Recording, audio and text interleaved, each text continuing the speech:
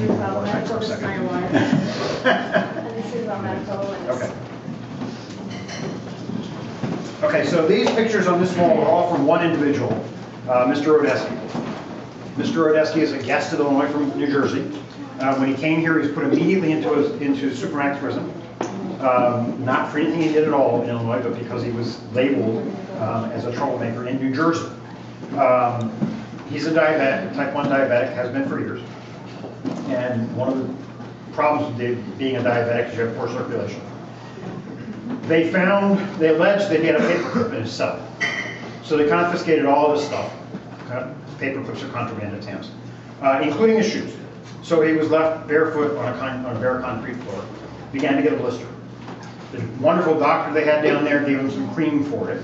Didn't give him antibiotics for it. It went on for months and months and months, and eventually they found that he had ulcerated sores which had gone through to the bone.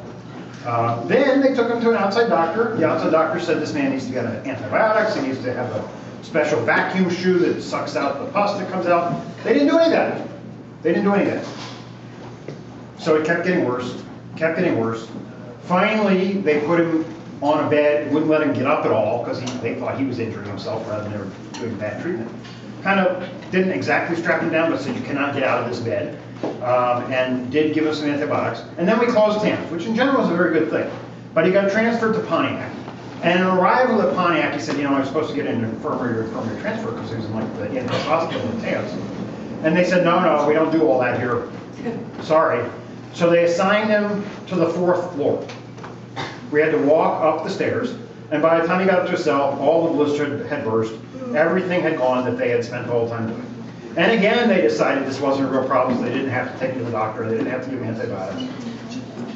At one point, a nurse fainted because the smell his foot when they were changing the bandage. Um, and he now has gangrene. Um, he's going finally to the University of Illinois um, Medical School up here.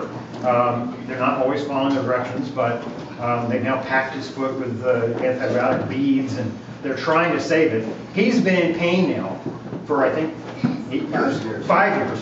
And his position, the doctor was, cut off my foot. I'm sick of this. And the doctor's refusing to do that. Probably a good thing, but you can imagine how much pain and how much suffering you have to go through to say, I don't want to go to a doctor anymore, just cut off my foot. I want to be done with it. So one of the ways he deals is through art. And this is the art you see behind him. Some of it is fairly angry. Um, this one identifies his doctor um, at Tamms. That's his picture of how he views the doctor. It's not a kindly portrait. Um, so we're suing on his behalf to try to get him some treatment, but it's not just him. The entire system is like this. We have, we spend less in Illinois on medical care per prisoner than every other state in the country. California spends about seven times what we do on medical care, and they're the ones that the United States Supreme Court held unconstitutional. We only spend a seventh of that. So we have a class action case going through the whole state saying medical care is so bad, it amounts to torture, it amounts to punishing people instead of treating them, which is exactly what's happening here. If a man says, cut off my foot, that's an indication to me that he's being tortured. So those are the kinds of cases we have. We have a similar one for mental health. We have a similar one for uh, Vienna Correctional Center where they have 400 people, Brent? 400 people living in what was, what was meant as a warehouse. So it doesn't have a men, it only has a men's room and a women's room, very much like that right here. Uh, for 400 people.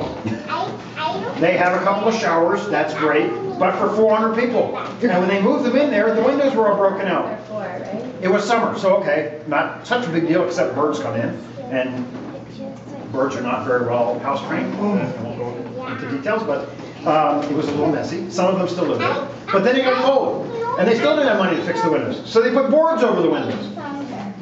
So now it's dark, and there's no air. And of course, there's no air conditioning. It's hot in here, I realize, but imagine having to live this way with this many people all the time, never getting cool, and never having any privacy. There were really 400 people in a warehouse.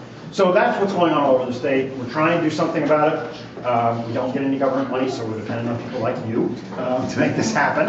Um, and we're really glad you came out. One of our tasks is not just to sue, but to educate the world as to what's really going on in prison, who is really there, that it's real people. And I hope if you get nothing else, you see that there are some extremely creative feeling people who are stuck inside our prison system, who are willing to share their heart with everybody. Um, Anything else I should say? Thank you.